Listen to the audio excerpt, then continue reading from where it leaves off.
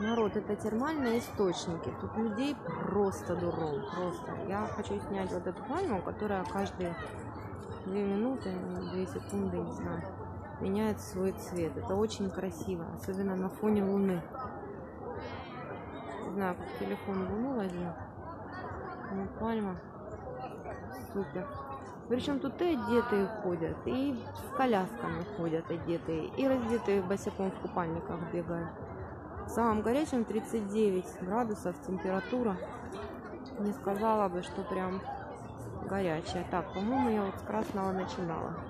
И тут еще фигурки везде детских мультиков. Сейчас я еще кота Леопольда сфоткаю. Детский городок вот здесь вот есть. Бассейны. А я не знаю, можно так ходить или нет. Надеюсь, что меня не поругают.